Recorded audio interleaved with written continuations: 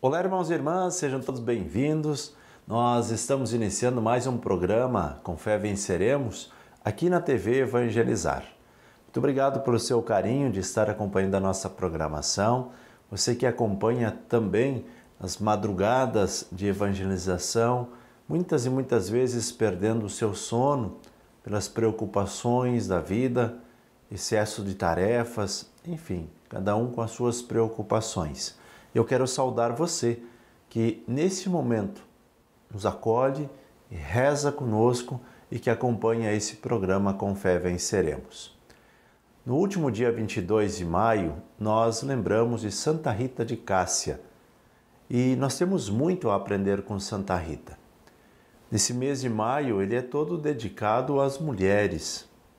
É um mês dedicado a Nossa Senhora e temos datas importantes para celebrar, assim como Santa Rita de Cássia.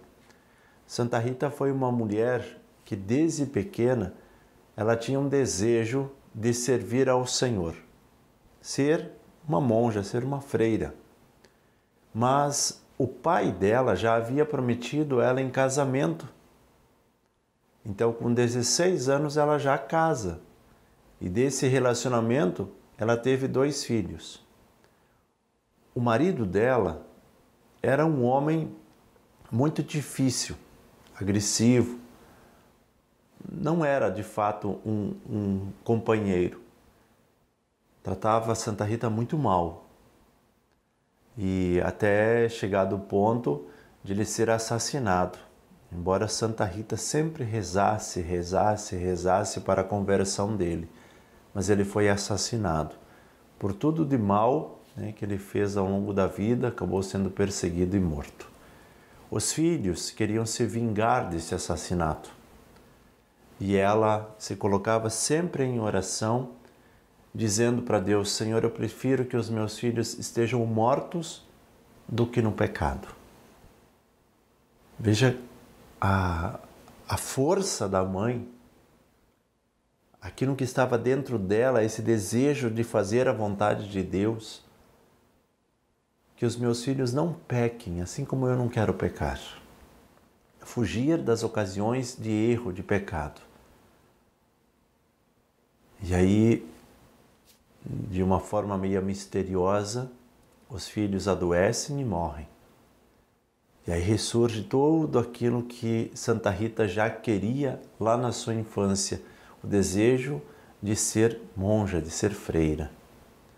E ela vai por diversas vezes no mosteiro das Irmãs Agostinianas e pelo fato de ela ser casada e de ter filhos, eh, elas impediam, né? diziam que esse era um argumento forte de ela, delas não aceitarem ela dentro do convento.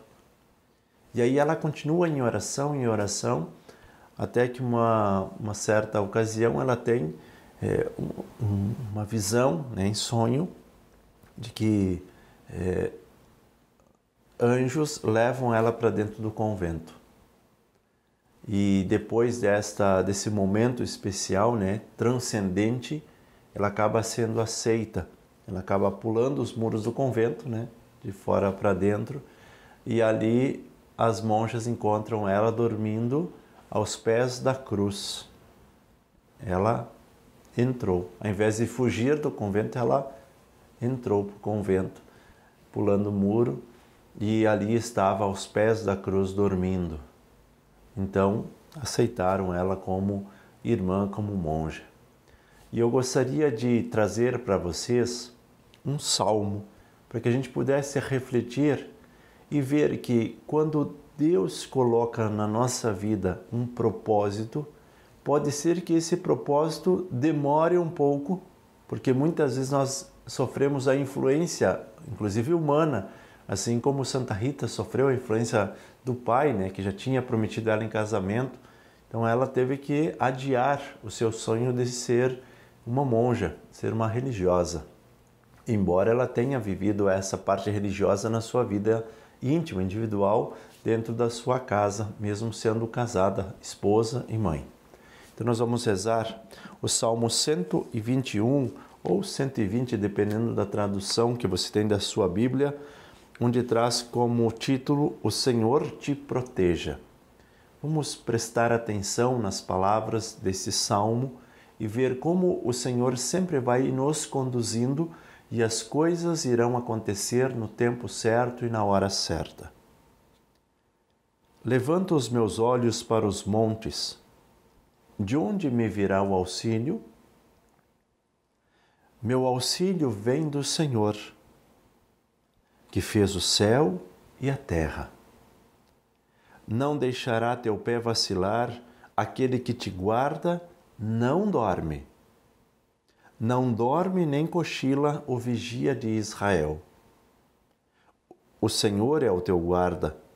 O Senhor é como sombra que te cobre. Ele está à tua direita.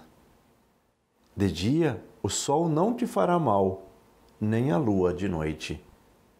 O Senhor te preservará de todo mal, preservará a tua vida. O Senhor vai te proteger quando sais e quando entras, desde agora e para sempre. Veja que bonito esse salmo, o salmo que nos mantém na serenidade. Muitas e muitas vezes, como diz o salmo, olhamos para os montes, olhamos para o alto e nos perguntamos: de onde virá o meu auxílio? De onde vem o meu socorro? Quem vai me proteger? Quem está por mim? E o salmista deixa claro nesta oração: O Senhor é o teu, é o teu guarda, o Senhor é o teu vigia, ele vai te preservar de todo mal. Quando tu sai da sua casa, quando você entra na sua casa, o Senhor vai te proteger de todo mal pouquinho da realidade desse salmo é vivida na realidade, na vida de Santa Rita de Cássia. O Senhor, mesmo naqueles momentos mais difíceis, o Senhor foi protegendo.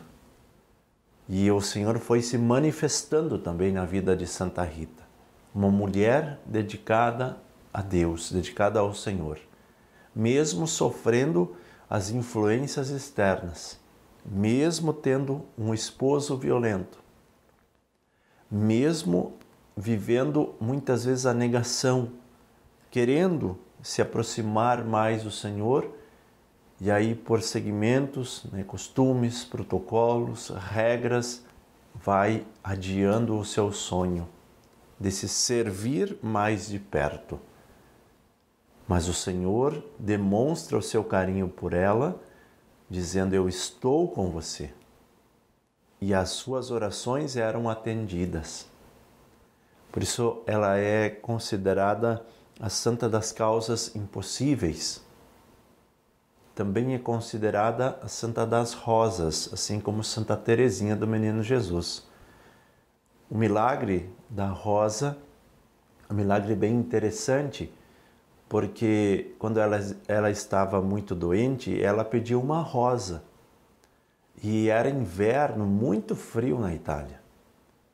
E eis que lá junto da cruz brotou um ramo de uma roseira e ali uma rosa branca.